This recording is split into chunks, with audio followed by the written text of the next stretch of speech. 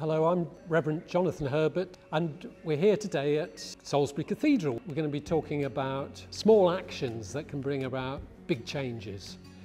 And really, the idea of that is if enough people do small actions, big change will happen. I live at Hilfield Friary, a Franciscan community, and we follow the way of St. Francis, who was a very small man who lived very simply, but his life had a major impact. Uh, 800 years ago and still continues to inspire people to follow Jesus in a, a simple way, loving creation particularly.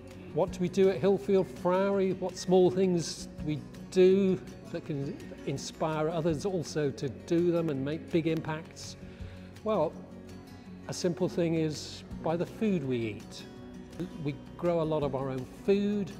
That's simple action you can do. I'm sure some of you already are doing it, but to grow, grow your own food is a lovely thing. Uh, great for your mental health, your sense of well-being. You can even make your own compost.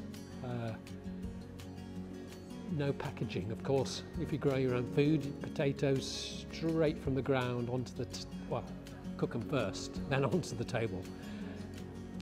Other things we do, we really try and share transport. We've got six cars uh, between 25 of us. We always try and plan journeys so we uh, take in two or three journeys at a time. So we'll pick somebody up from the doctor's, drop somebody off at the train station, pick up the shopping, all in one hit.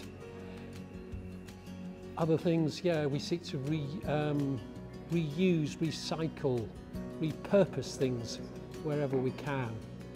And perhaps the simplest, smallest thing we do, which I think will have the biggest impact of all is we pray. We pray regularly for God's creation because there's so much danger in the world from climate change that uh, only really prayer uh, can help us, help us transform our world along with faithful action.